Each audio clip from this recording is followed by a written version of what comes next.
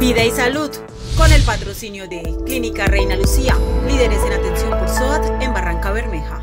670 son los casos activos por COVID-19 en el reporte más reciente de la Administración Distrital.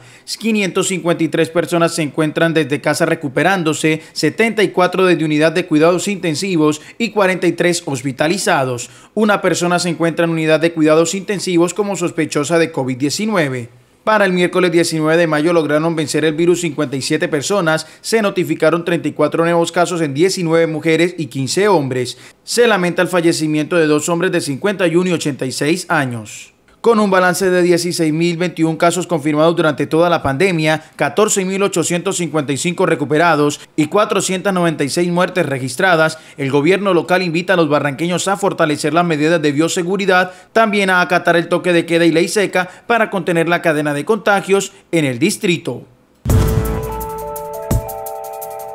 Vida y salud, con el patrocinio de Clínica Reina Lucía, líderes en atención